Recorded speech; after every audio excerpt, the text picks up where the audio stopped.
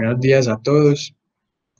Mi nombre es Diego Espíndola Fernández. Yo soy residente de psiquiatría de segundo año de la Universidad de Antioquia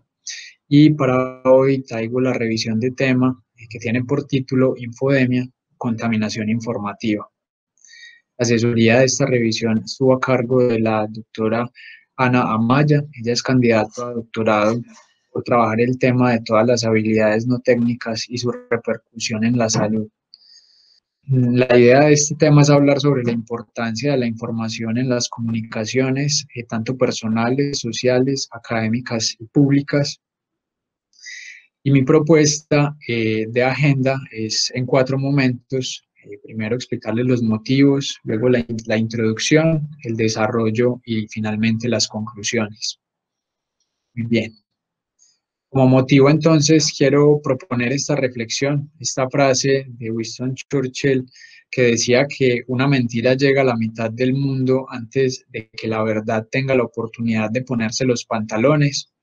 Y eh, realmente quiero pues proponer esta reflexión porque eh, lo que se veía como una epidemia localizada en una localidad lejana de China, en Wuhan, eh, esta fotografía fue tomada a finales de enero cuando eh, la epidemia ya era pues evidente y habían unas condiciones pues de salud muy estrictas para el control de esta epidemia, eh, pues no pensamos que llegaría hasta, hasta nuestra región. Veíamos muy lejos ese, ese tema pues como de, de la epidemia y pues esto ha evolucionado sabemos que desde inicios de diciembre del año pasado se reportaron los primeros casos de esta condición en China y esto fue avanzando hasta el punto en el que el 31 de enero eh, la OMS declara la emergencia internacional por esta condición de salud y pone en alerta eh, todas las acciones pues, relacionadas eh, avanza toda la identificación de este virus y finalmente el 11 de marzo de este año, pues la OMS declara el brote como una pandemia global y dirige todos sus esfuerzos al control eh, de las consecuencias. Para nosotros, para Colombia y específicamente para Antioquia, entramos como en esta lógica de la pandemia a mediados de marzo desde cuando empiezan a plantearse las acciones colectivas en salud y hemos recorrido unos meses pues bastante eh, complejos acerca de, todo este manejo de la pandemia. Pero a su vez pues eh, sabemos y colectivamente nos hemos dado cuenta como de las implicaciones que ha tenido la información y eh, el uso de dispositivos móviles y de redes sociales. Por eso, en este panorama en el que eh, esta situación revela y genera unos factores de vulnerabilidad, empezando por la incertidumbre, por el aislamiento y el distanciamiento social que implica, y esto genera eh, una condición de soledad. Eh, pues también hay unos riesgos físicos evidentes, que es la, el riesgo de transmisión, y aquellos que tienen antecedentes o condiciones individuales de salud, pues están más vulnerables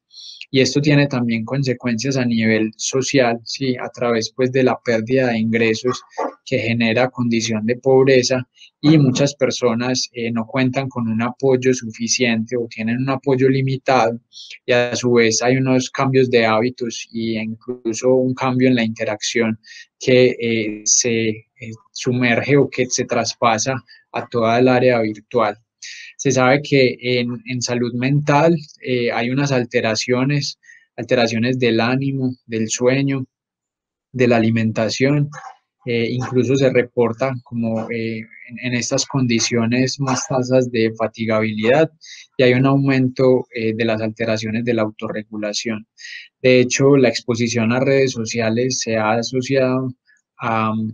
a mayores probabilidades pues, de tasas de ansiedad y depresión ya identificadas. Por eso, eh, pues mi motivación era que eh, tuviéramos como en mente de qué manera esto interactúa, sobre todo con eh, las nuevas tecnologías, porque se conoce que el acceso a Internet viene en aumento en el mundo. Se considera que para Colombia el acceso aproximado de, Internet es entre el 60 y el 70% y se sabe que esta exposición al Internet eh, pues está aumentada en algunos grupos eh, poblacionales. Eh, los niños y los adolescentes tienen más posibilidad pues de, tener acceso o están más expuestos a, estas, a estos dispositivos.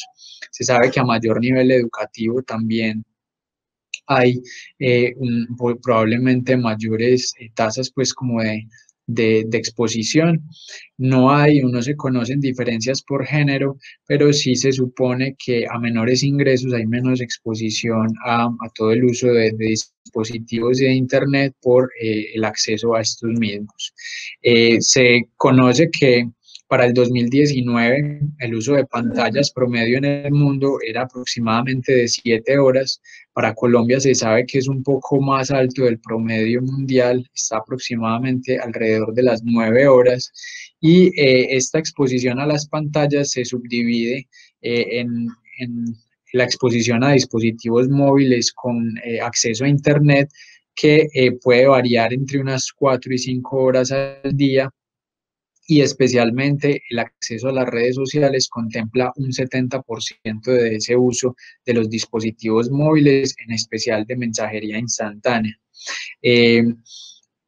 también hay, hay un, pequeño porcentaje de uso pues, de computadores, de tabletas y de la televisión que cada vez eh, pues, viene en descenso, pero eh, con el cambio de esta condición de pandemia se sabe que se pueden duplicar e incluso triplicar esta exposición a las pantallas y esto pues tiene unas consecuencias eh, evidentes a, a pequeño, a corto, mediano y largo plazo. El objetivo general de la charla entonces es precisar el concepto de infodemia como una noción emergente con implicaciones en el comportamiento y la salud humana a través de las herramientas de la infodemiología. Los objetivos específicos entonces es definir los términos de infodemia a través de las herramientas de la infodemiología, enunciar el contexto en el que surgen y se desenvuelven estos conceptos y distinguir las posibles implicaciones en el comportamiento y en la salud humana. Muy bien, para introducir este tema entonces quiero empezar por las definiciones. La infodemia se nombró eh, por parte de la OMS como una cantidad excesiva de información, en algunos casos correcta, en otras no, que dificulta que las personas encuentren fuentes confiables y orientación fidedigna cuando la necesitan. A grandes rasgos esto se podría definir como contaminación informativa y también eh, se conoce que la infodemia es la rápida difusión de información errónea a través de las plataformas, de las redes sociales y de otros medios. De hecho, la OMS enfatiza que en esta situación de infodemia eh, aparecen en escena la desinformación y los rumores junto con la manipulación con intenciones dudosas y este fenómeno se amplifica mediante las redes sociales y se propaga como un virus. De hecho, mm, las noticias falsas eh, se consideran que eh, intentan manipular la opinión pública y están diseñadas para provocar unas respuestas emocionales que tienden a generar malestar en la población y de esa manera eh, generar como unos cambios eh, en los hábitos o en las actuaciones del día a día. Para eso entonces eh, surge la infodemiología como una nueva área de investigación científica que se enfoca en monitorizar el Internet para buscar contenido relacionado con la salud creado por usuarios con el objetivo final de mejorar la salud pública. Esta rama de la infodemiología es eh, reciente y también se ha mencionado como la ciencia de la distribución y los determinantes de la información en un medio electrónico, específicamente en Internet, con el objetivo final de informar la salud pública y las políticas públicas. Eh, este enfoque de la infodemiología se ha propuesto para eh, encontrar o estudiar la propagación de enfermedades infecciosas, de la adherencia a las vacunas, eh, el uso de antibióticos, eh, la incidencia de algunas enfermedades y también incluso para distinguir los patrones de consumo de sustancias. Muy bien. Eh, esta, esta diapositiva lo que intenta mm, ilustrar es que hay un concepto eh, que se viene trabajando desde la década del 70, es a través de Richard Dawkins eh, empieza a utilizarse el término de meme como una analogía de los genes donde el meme se considera como una unidad de información que reside en, pues en el cerebro humano y que se replica a través de la cultura. Este, este concepto de, la cultura eh, humana se supone que eh, tiene una, o es un quiebre ¿sí? en, en la biología y en la evolución, ¿cierto? porque es cuando se introducen eh, el lenguaje y, la habilidad, y las habilidades cognitivas por las cuales la cultura pues tiene la posibilidad de cambiar las condiciones humanas, sociales y ambientales.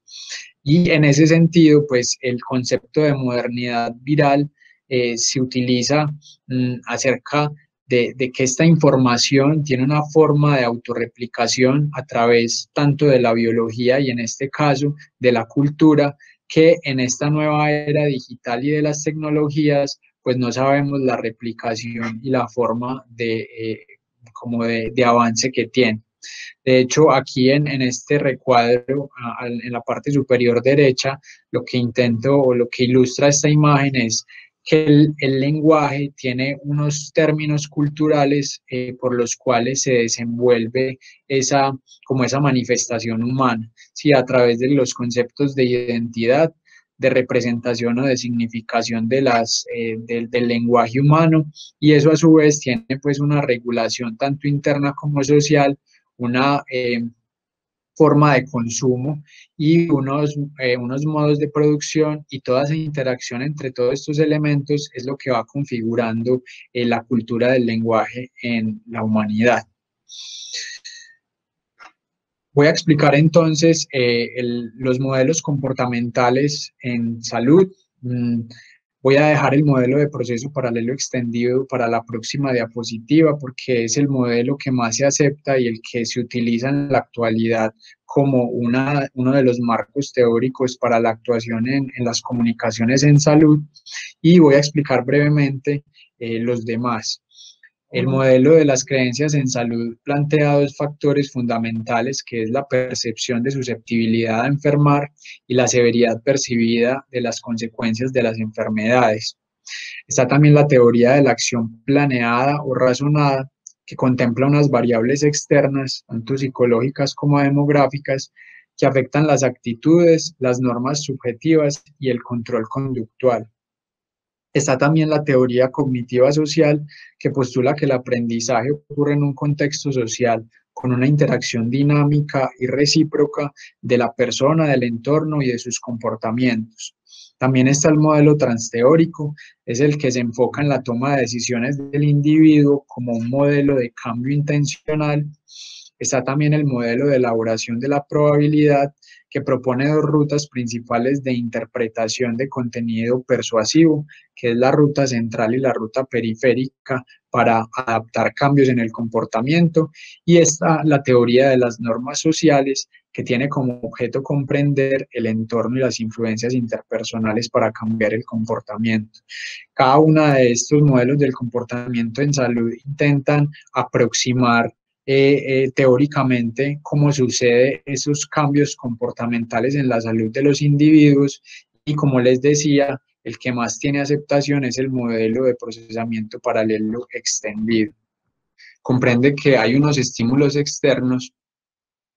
eh, de unos mensajes de riesgo para la salud que producen dos evaluaciones cognitivas, incluida la evaluación de la, de la eficacia de la respuesta recomendada y una evaluación de la amenaza. En este, en este modelo se sugiere que hay dos procesos distintos en respuesta como a las apelaciones al miedo. ¿sí? Hay, eh, hay otros modelos recientes que sugieren que el miedo también tiene una connotación eh, o tendría una connotación positiva cuando se habla de la empatía, incluso con mejores pronósticos, y a través de esa, como de esos procesos cognitivos,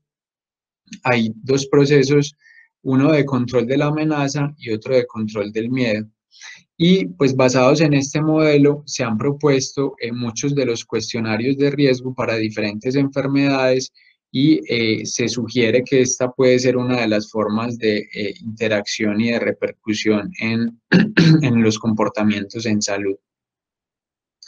Entendiendo como ese contexto entonces, eh, la infodemiología como una nueva área del conocimiento se propone que mm, sea una de las ramas de la epidemiología esta es como la propuesta reciente para que entre eh, como tal a ser parte de las nuevas áreas del conocimiento y en esta rama intervendrían áreas como la física, la matemática, las estadísticas, la ingeniería de sistema y todo el, em, la interpretación pues como de los modelos sociales y conductuales. Este término de la infodemiología inició en el 2002 con la propuesta de Eisenbach, que fue el primer, eh, la primera persona que propuso este abordaje y eh, a lo largo de estos últimos años ha ido creciendo eh, como el, reporte en la literatura de este término y se espera que haya pues un, un aumento continuo de esta, de esta área.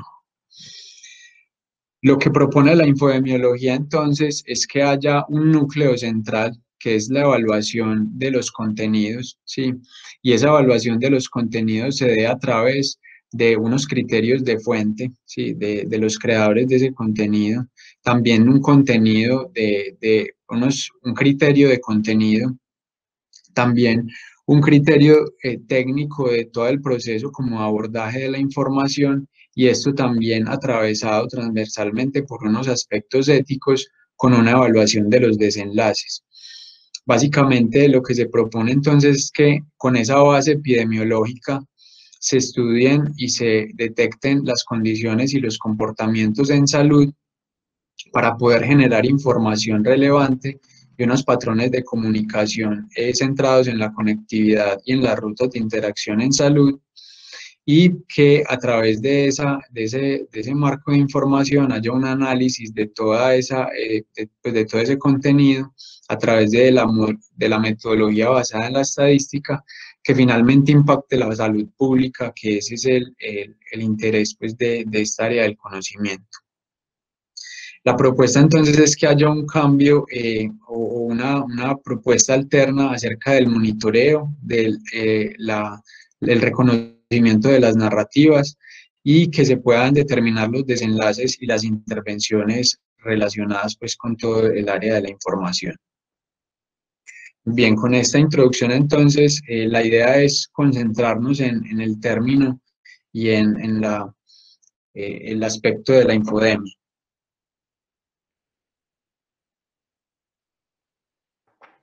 A grandes rasgos eh, hay unos elementos comunicativos importantes desde el, el, modelo básico de emisor, mensaje y receptor, hay unos elementos relevantes. Desde el emisor o el agente pueden haber un, tipo de autoría que puede ser oficial o no oficial. Hay un nivel de organización que puede ser bajo, complejo. Hay un tipo de motivación eh, diferente, eso lo vamos a, profundizar un poco más. Hay unos niveles de automatización de los generadores de este contenido hay un tipo de audiencia al que se, intenta impactar y hay una intención de daño de confusión.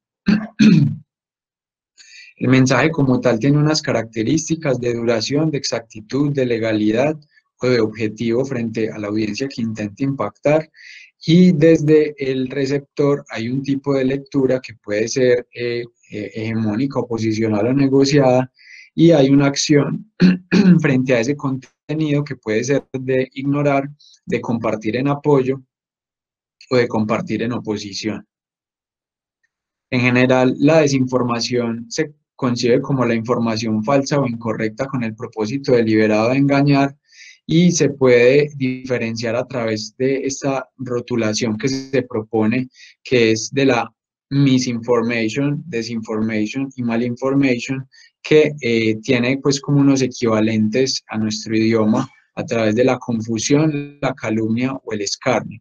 La confusión como los contenidos falsos o los contenidos erróneos eh, con, con, con, omisión de, de, de, algún tipo pues como de, factor eh, interno, la calumnia ¿sí? con intención de daño, un contenido falso, eh, manipulado fabricado, y el escarnio que puede no tener falsedad de la información, pero que intenta eh, a través de filtraciones o de discurso de odio a impactar la, como los comportamientos en salud.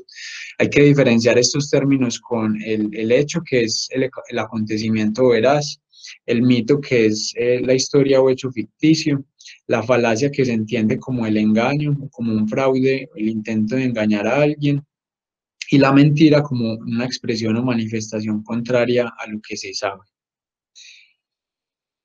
Entonces, eh, dentro de las motivaciones que les mencionaba al inicio, hay cuatro tipos de, motivaciones que se han identificado. Eh, las principales son las financieras, eh, las segundas son las políticas y en este terreno es, es, también donde se ha estudiado gran parte o se ha desarrollado gran parte de la infodemiología a través de las campañas. Las psicológicas, que son las intenciones pues individuales y las sociales,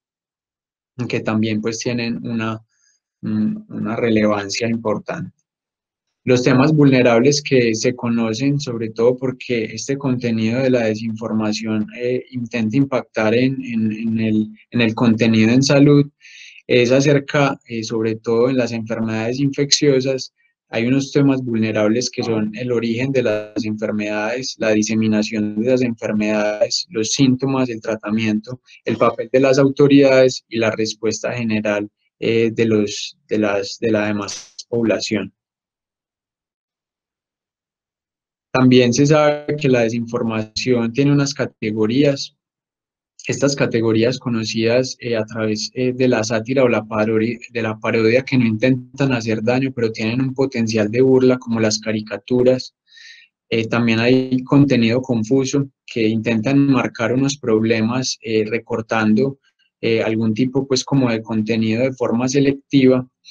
También están los impostores de contenido, que es a quienes se les atribuye un contenido de una fuente diferente. Hay un contenido fabricado, que es donde se genera completamente contenido nuevo. Eh, muchos de esos se utilizan para estafas. La falsa conexión, que es cuando los encabezados o los gráficos no dan cuenta pues como de, del contenido de la información.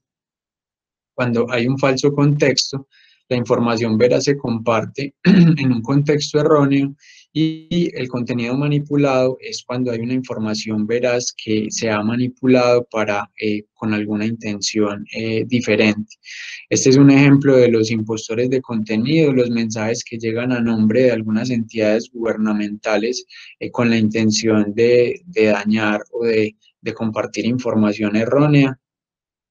este es un ejemplo del contenido manipulado, es decir, donde hay un hecho como el virus eh, y se empiezan a dar eh, como explicaciones alternas o falsas acerca de lo que, de lo que puede suceder a raíz de, de, toda la situación.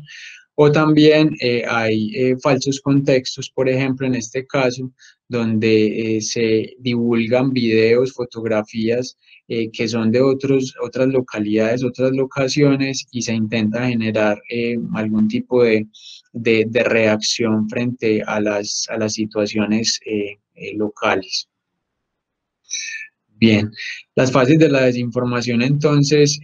empiezan desde la creación, ¿sí? con los tipos de autores que les mencionaba. Hay un proceso de producción y de publicación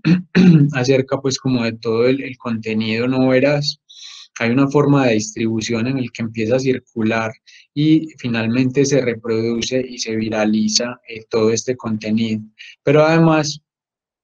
hay un proceso de amplificación en el que eh, desde las redes anónimas empiezan a, eh, a ascender a las redes cerradas de información a comunidades específicas, ya sea por mensajería instantánea o por las redes eh, internas y eh, entonces eso impacta las redes sociales a través de compartir esos contenidos y finalmente llega a los medios profesionales de información donde, donde todos los contenidos empiezan a replicar de una manera eh, viral. Hay unas características que perpetúan la información desde el emisor, desde los creadores pues como de, los contenidos, eh, se sabe pues que la experticia eh, o estos líderes de opinión que defienden pues, puntos de vista errados están pues mm, como teniendo como una experiencia y una cada vez más como capacidad de, divulgar esta información. También hay unas lógicas falaces donde se, llegan a unas conclusiones inapropiadas o incorrectas, como por ejemplo eh, la distracción con, con datos irrelevantes o cuando se malinterpretan datos y se saltan a las conclusiones finalmente. También hay unas falsas promesas o unas expectativas inalcanzables donde por ejemplo se denuncian que si no se sabe pues por completo como una situación, entonces no se sabe nada. Eh, también hay un enfoque en los detalles, donde enfocarse en datos aislados tiene un impacto también eh, de perpetuar como la desinformación y la intención eh, falaz de los grupos que hay, pues disidentes frente, por ejemplo, a áreas del conocimiento que intentan perpetuar esta, esta desinformación. Y también hay unas características en, el receptor o en, las personas pues, que reciben el mensaje. Eh, se sabe que estos procesos heurísticos o estas formas prácticas de resolver los problemas o esos atajos mentales que, tenemos, eh, hay seis, eh, como seis aspectos que, que posibilitan que se perpetúe la desinformación. Primero es la reputación, cuando se considera que un emisor tiene una buena reputación y que se basa como en, un reconocimiento, en una familiaridad, hay más posibilidad de, creer estos contenidos. Cuando hay una relación social, es decir, cuando el contenido se comparte por fuentes cercanas, también hay más probabilidad de aceptar ese mensaje cuando el mensaje es consistente, si se repite en varios lugares o en varios sitios, esa información puede tener eh, más, eh, más repercusión. También hay unas expectativas desde el receptor, si, si, por ejemplo una, un contenido se genera desde un sitio web que se ve y se comporta de una manera esperada, eso eh, puede tener también pues más repercusión. Hay una confirmación, cuando se confirman las creencias de, todos los procesos anteriores y cuando se sabe pues, o se entiende que hay una intención persuasiva eh, y se entiende que la intención puede ser informar desde algunas fuentes eh, que finalmente también pues como perpetúan ese proceso de, la desinformación. Entonces, eh, yéndonos al, como a, la infodemia como tal, ¿cómo podría considerarse una anatomía de, como de la viralización de este contenido? Y se sabe que la, el proceso de la infodemia empieza con la creación del contenido por cuentas humanas y no humanas que empiezan a replicar contenido no confiable. Y ese contenido eh, pues lleva, conlleva unas noticias que no son fiables o que no son veraces eh, y finalmente ese tema empieza a atraer la atención colectiva, ¿sí? a través como de la, eh, de, como de, la, de la implicación de la, de la información que tiene en el medio y cómo se va replicando. Entonces, una persona puede estar expuesta a varios tipos como de fuentes de información y a la vez estas personas se pueden convertir en agentes, eh, llamémoslo como infecciosos de desinformación y empieza el proceso de difusión masiva. Aquí uno puede pensar eh, como en la, metáfora de, la, del agua en ebullición, Sí, el, cada, o, entidad replicadora puede ser una burbuja y a medida que el, contexto social y el contexto eh, o, la situación se va caldeando, cada burbuja implica que finalmente se llegue a un punto de inflexión en el que el contenido puede ser eh, replicado automáticamente. Eh, se sabe que en todos estos estudios de desinformación, eh, los contenidos que más se replican son los contenidos en salud, especialmente con enfermedades infecciosas, con vacunas y con enfermedades crónicas eh, no transmisibles. Eh, los resultados muestran que hay una alta prevalencia y popularidad de esta información errónea en las redes sociales y pues siempre se intenta como hacer los análisis del contenido y para poder pues como entender y, e impactar pues como la, la, la, replicación en las redes. Hay algo frente a lo que se está estudiando recientemente mm, por todo el impacto de, estas, de este tipo de, de desinformación y es que los valores y las narrativas eh, tienen mucha tienen mucha repercusión en, en todo este proceso. Se sabe que las, las, campañas en salud intentan eh,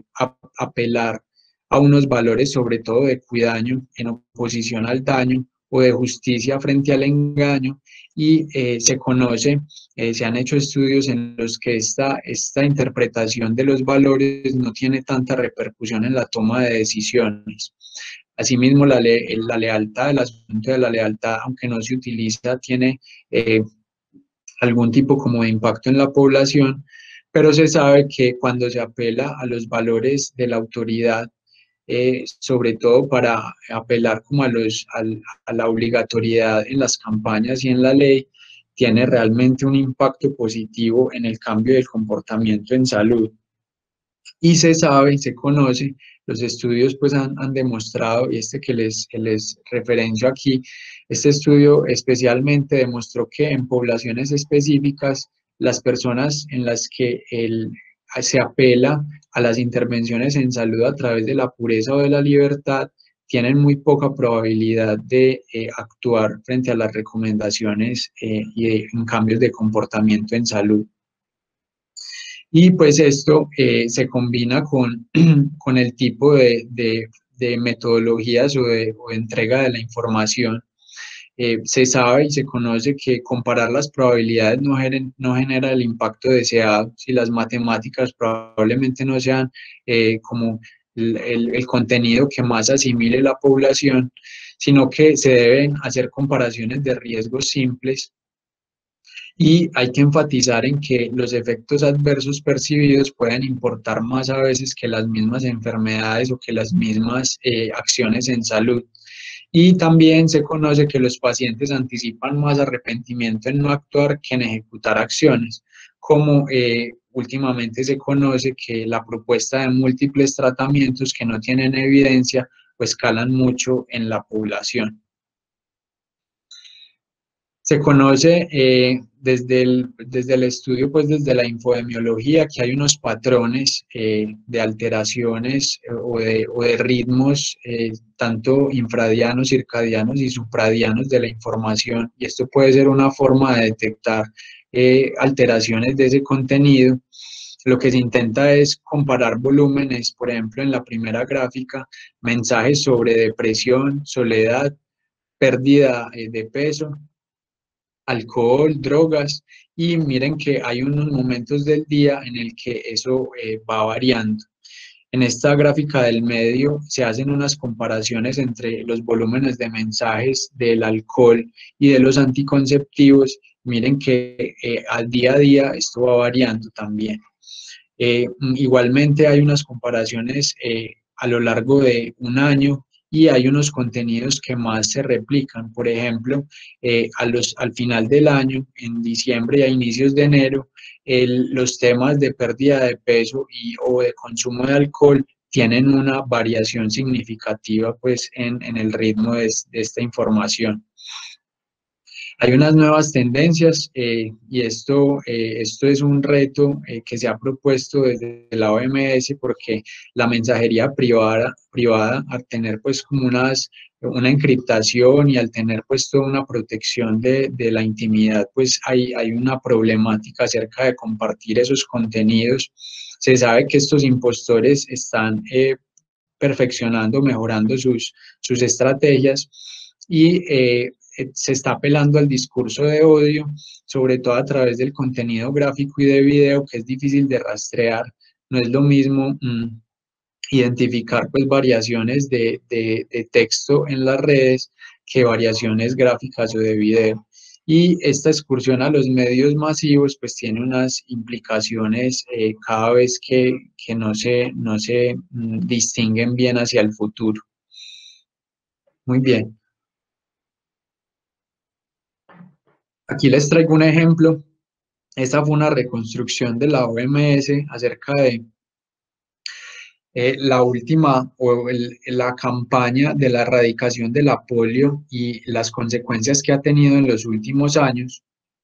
Miren que desde la década de los 80 el, la condición pues de polio ha venido disminuyendo en el mundo, esto a la par de las políticas y de, de, las campañas de erradicación en el mundo y desde el 2010 se consideró que se entró en la última etapa de la erradicación de la polio. Estos últimos casos, sobre todo en África especialmente y en el sudeste asiático, es donde más se quería impactar esa erradicación de la polio. La idea era que para el 2018 esta enfermedad estuviera erradicada en el mundo, sin embargo, en el 2019 hubo un retroceso inesperado.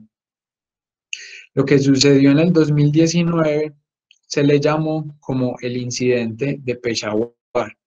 En una de las localidades eh, de, Pakistán,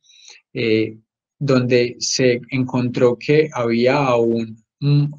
pues unos, un aumento o una incidencia de los casos aún pues eh, en aumento en ese año, en el 2019, se presentó una problemática en la vacunación de la polio y ese incidente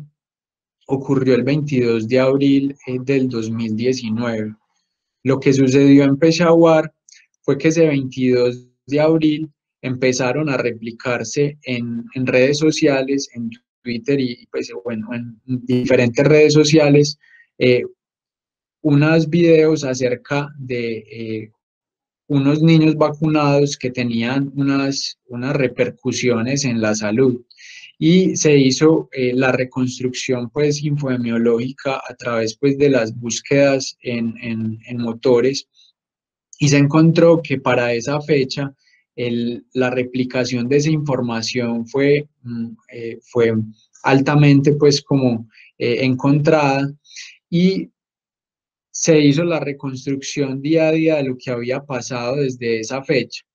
Entonces se determinó que el 22 de abril un conjunto de videos eh, que afirmaban que unos niños se habían enfermado después de recibir las vacunas, eh, ejemplo pues también de lo que había o de lo que sucedió aquí en Colombia con una de las campañas de vacunación. Y lo que sucedió fue que se empezaron a replicar en redes sociales todos estos videos de, de los niños que habían tenido estas secuelas o estas, estas eh, como efectos adversos de la vacuna. Y los padres preocupados en Pakistán empezaron a llevar a los niños a los hospitales acerca de, de, cuáles eran las repercusiones de las vacunas. Ese mismo 22 de abril se hizo eh, desde el Ministerio Público de Salud de Pakistán pues una, una nota de advertencia acerca de que las vacunas no tenían o no había evidencia de que fueran inseguras o, que estuvieran pues en mal estado. Y el 23 de abril estas interacciones continuaban en aumento y esto tuvo una repercusión social. Eh, al menos 12 personas en total fueron arrestadas en todos los incidentes por las, las campañas de vacunación y desde el Departamento de Salud eh, de, de, Peshawar eh, se identificó que habían unas, mm, unas como un grupo de personas con una intención eh, coordinada para interrumpir la campaña de inmunización contra la poliomielitis. De hecho, en este proceso entre el 22, 23 y 24 de abril hubo, dos policías asesinados mientras vigilaban eh, la función de, de los trabajadores, pues de los vacunadores. Y el 25 de abril eh, también un vacunador fue asesinado en Chamán, en Pakistán, eh, cuando hacía pues sus labores de erradicación. Y el 29 de abril finalmente eh, se suspende temporalmente la, la, campaña de la erradicación y esto demuestra el, como la, el impacto de lo, que tiene, de lo que son las redes sociales en todas eh, las campañas y de los comportamientos en salud. Finalmente eh, se entendió, habían unas consecuencias cuantificables. Este es el gráfico de la intención y del, de la intención de no vacunación y del rechazo efectivo de la vacunación de, las, de, de la población. Miren que para esa fecha hubo un pico considerable de rechazo de la vacunación y eh, también hubo unas consecuencias a mediano plazo en esos próximos meses. También hubo eh, una como un rechazo a la vacuna en un porcentaje considerablemente mayor de lo que previamente había en Pakistán. Lo que menciona la OMS en este, en este recorrido de las consecuencias cuantificables de lo que es una infodemia es que a pesar de que la información se dispersa en línea, pues realmente esto tiene origen en la vida real. Eh, se entiende que los creadores de este contenido pues aprovechan las experiencias, los patrones y los puntos de vista de la población, sobre todo apelando a contenido emotivo para explotar ese, ese contenido en línea. Hay una sinergia entre, entre los, las redes y estas, estos grupos eh, de desacreditación pues, de, de las campañas en salud y para eso pues es necesario como tres abordajes que se proponen o que se proponen para este, estas campañas. Primero es escuchar como las necesidades de la población, entender y vincular pues como todo este proceso. Bien, frente al COVID-19 han habido estudios recientes con el enfoque de la infodemiología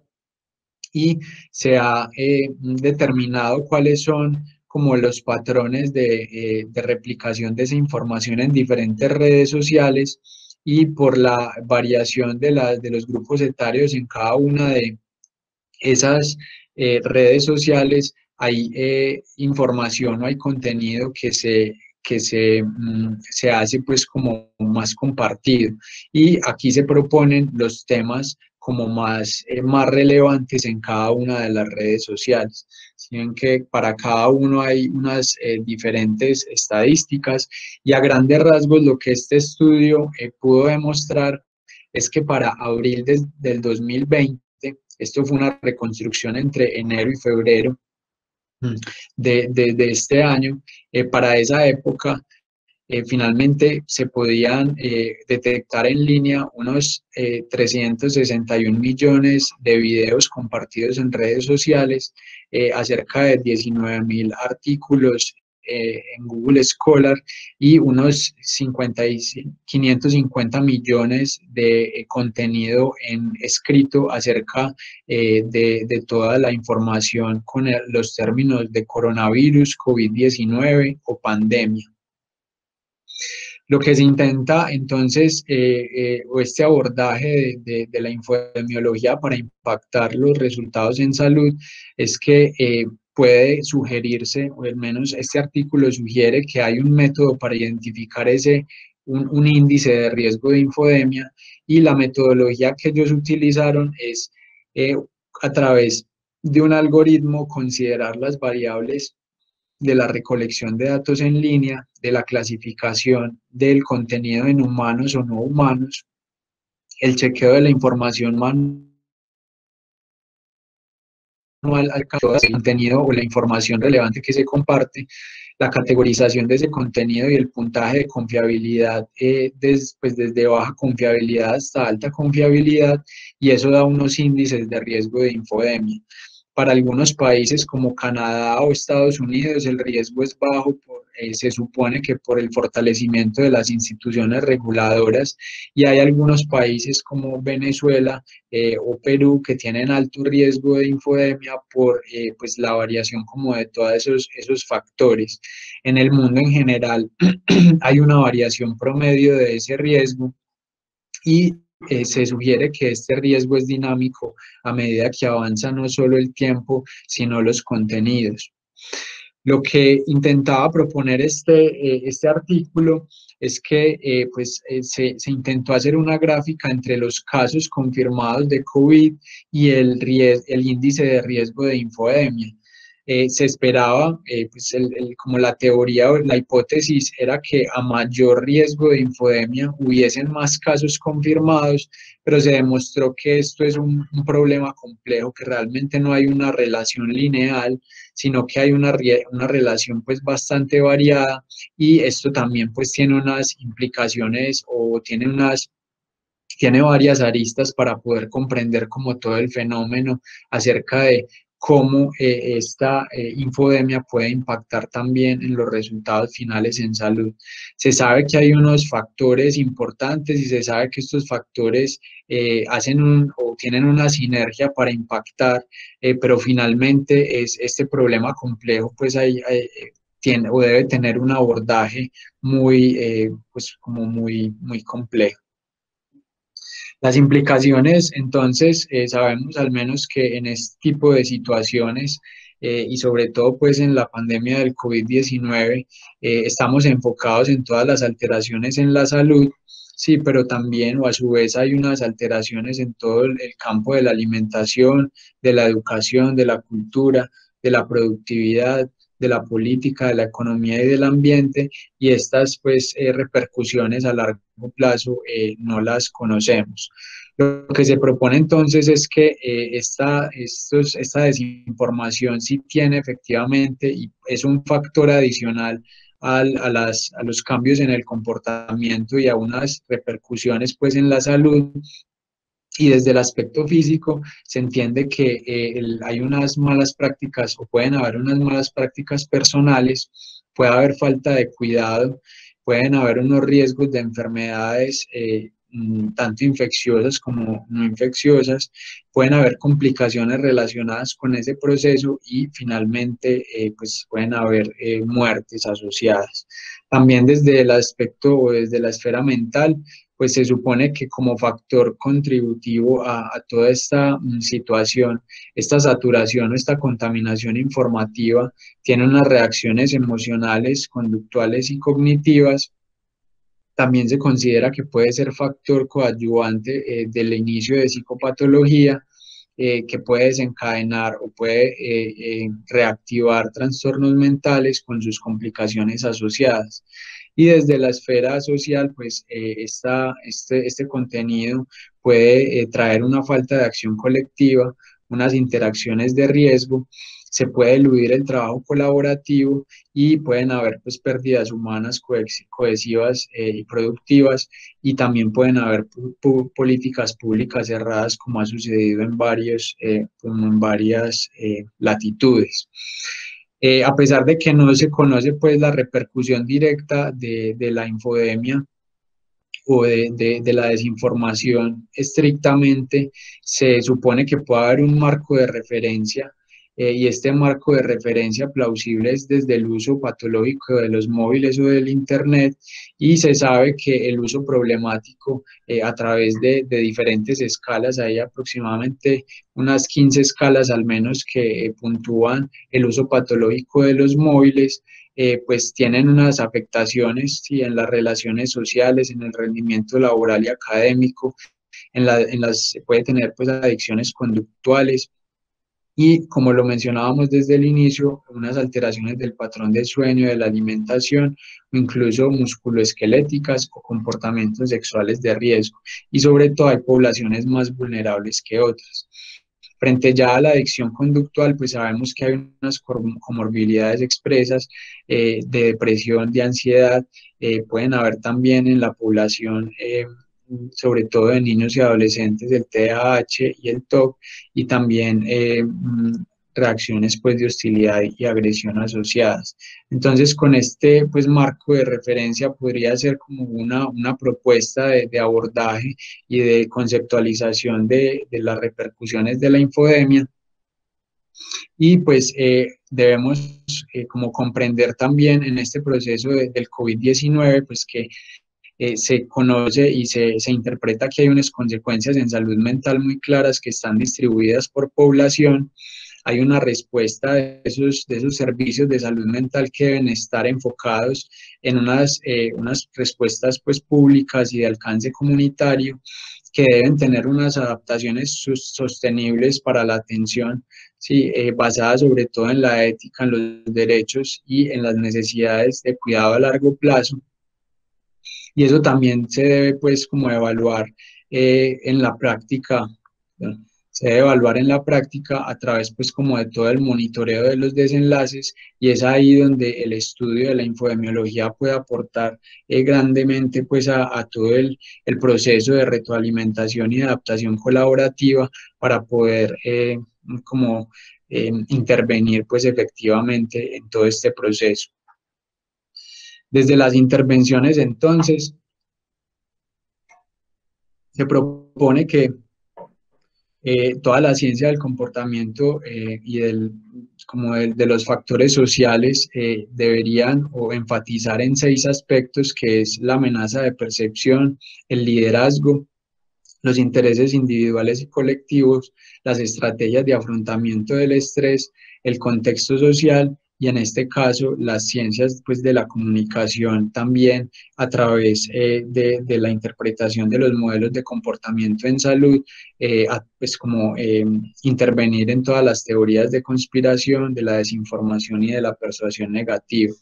Para eso entonces se propone una teoría que es la teoría de la inoculación, que básicamente es desnaturalizar la información falsa para poderla eh, acercar a la población y que estén inmunizados de alguna manera frente a este contenido. Y lo que se plantea entonces es que se deben emplear metáforas para inocular el conocimiento, se debe explicar a través de las narrativas, que a veces la ciencia y los datos pues no son suficientes como les había comentado previamente.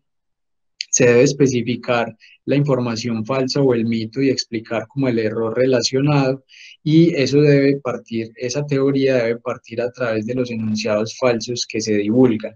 El proceso entonces sería siempre declarar como eh, la información no verídica, enfocarse en los hechos centrales y reales, advertir explícitamente cuál es el contenido que es falso, ofrecer las explicaciones alternativas que son verídicas y que tienen comprobación y es muy importante valerse del contenido gráfico y de video que tiene más eh, como más penetrancia en, las, en, la población. Hay una evidencia de estas intervenciones eh, de las teorías de la inoculación. Realmente la, la, OMS a través de este estudio está divulgando estas estrategias que eh, este estudio lo que intentó fue en tres etapas simuladas hacer una replicación de una condición infecciosa. En la primera etapa se intentó, eh, se intentó pues replicar los RT o ese coeficiente pues como de replicación sin propagar información ni falsa ni real.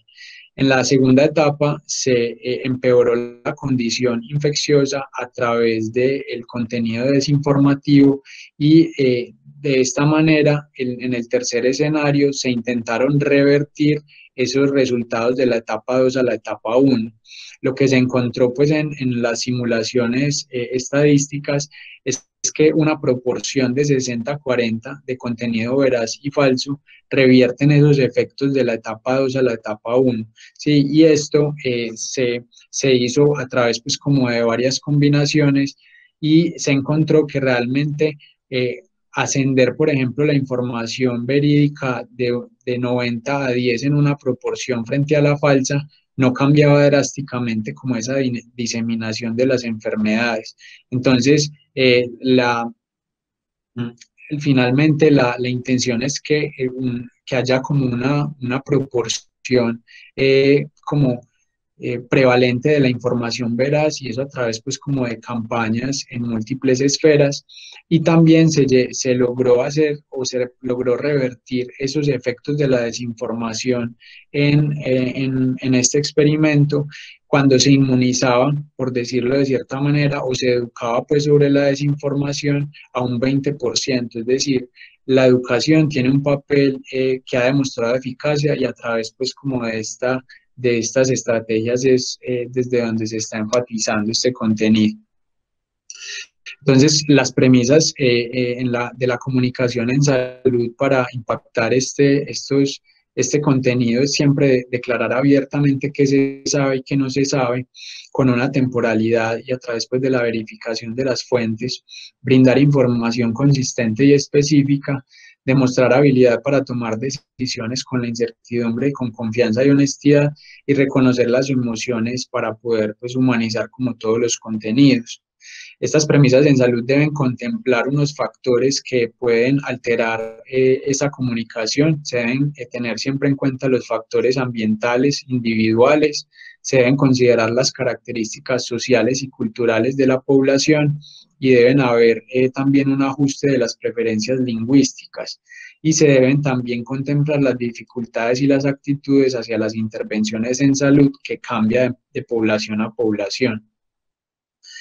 Eh, desde la comunicación en salud y desde el modelo de proceso paralelo extendido, la, la, recomendación es para poder incentivar cambios positivos en el comportamiento, entonces es crear modelos mentales sobre el contexto y la situación problemática.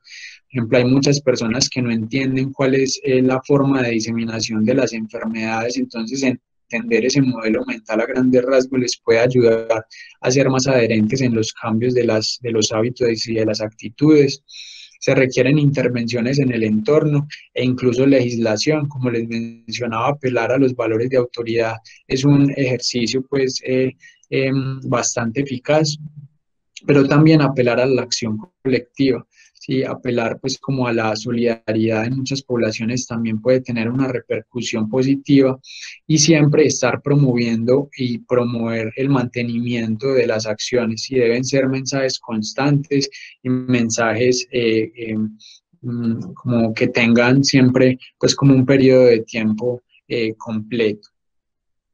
Para eso entonces se propone que hay un marco para preparar. Eh, uno debe siempre contemplar las fases tanto eh, de, las condiciones en salud como de la posibilidad del, del manejo, pues como de estas intervenciones. Debe ser específico para cada situación. No es lo mismo una enfermedad infecciosa o una no infecciosa. Se propone que debe ser a través de múltiples canales, no solo a través de redes sociales, sino de televisión, prensa, y todos los medios posibles que se tenga pues como interacción con la población. Deben haber enfoques que prioricen pues a la comunidad y a sus perspectivas y se debe pues enfatizar en que la fuente de información sea confiable y creíble, eh, contemplando la capacidad y los recursos de cada comunidad. Para eso entonces eh,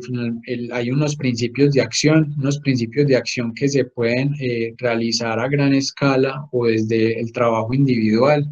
eh, subrayo los azules como eh, considerando que esto se puede hacer de manera individual, ¿sí? a través de una información veraz y de publicar la información verdadera eh, que se conoce y que se tiene hasta el momento y educar eh, siempre pues a los pacientes y a la población con la que uno tiene cercanía acerca de cuáles son pues los contenidos verídicos. También hay unas estrategias pues a gran escala eh, que se proponen acerca del impuesto a las ganancias porque todo esta, este contenido de la desinformación como les mencionaba tiene unas motivaciones que son financieras y políticas. Para eso también se debe contemplar la regulación civil y penal por las implicaciones que tiene esto en la salud eh, y revisar pues esos modelos financieros para poder impactar y generar políticas públicas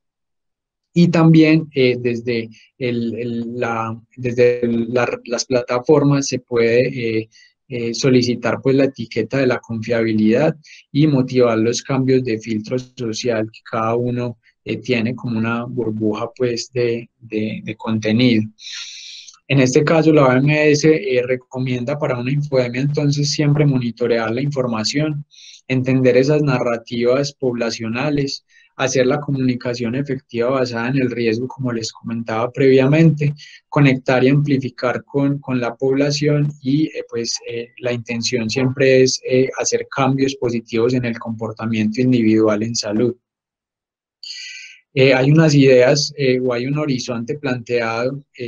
eh, el mes pasado hubo la primera conferencia de la OMS sobre infodemiología y las propuestas de acción a futuro, pues inicialmente es identificar esa evidencia que hay acerca de todas las, como todas las formas de colaboración y de revisión, pues como de la evidencia acerca de lo que es y en lo que se está enfocando la infodemiología. Propone que la divulgación científica sea uno de los pilares del manejo acerca de eh, cómo divulgar el contenido de los cambios en los comportamientos en salud. Se debe cuantificar ese impacto y en este momento se está proponiendo pues como toda la taxonomía y todo el, abordaje eh, teórico de, de este tipo pues como de amenazas y debe haber un proceso de amplificación a través de líderes y de trabajo colaborativo y finalmente una coordinación con eh, entidades gubernamentales y eh, pues, entidades pues como relacionadas con este tema. quedan preguntas abiertas. Este tema pues es realmente eh, nuevo y pues eh, nos quedan como las preguntas acerca de, de, cuál es el modelo o el marco teórico de la repercusión en salud basado pues en estos conceptos de la infodemiología y cuál podría ser su comprobación. Hay unos instrumentos, hay una pregunta abierta sobre los instrumentos validados de cuantificación en el área de la salud mental sobre todos estos conceptos de infodemiología. Eh,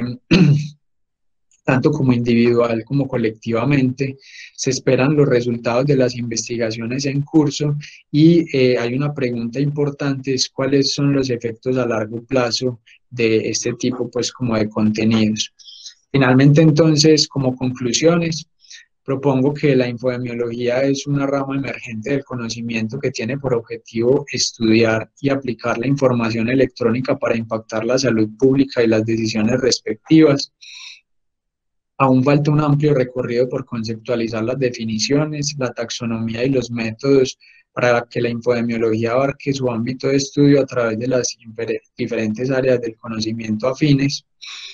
La infodemia es la rápida difusión de información errónea o noticias falsas a través de los medios con el potencial de impactar la conducta y la salud en la población y pues para comprender estos componentes, características y factores es, es, determinante para poder impactar como los posibles desenlaces en salud relacionados.